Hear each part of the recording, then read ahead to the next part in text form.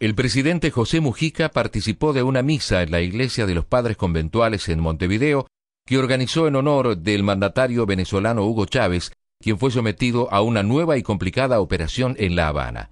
A la salida del oficio religioso, Mujica habló sobre la razón de la celebración eucarística y su relación con el presidente de Venezuela.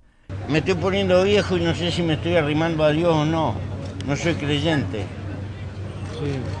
No soy práctico cristiano tengo un profundo reconocimiento a las religiones y particularmente a la Iglesia Católica por la historia de América Latina.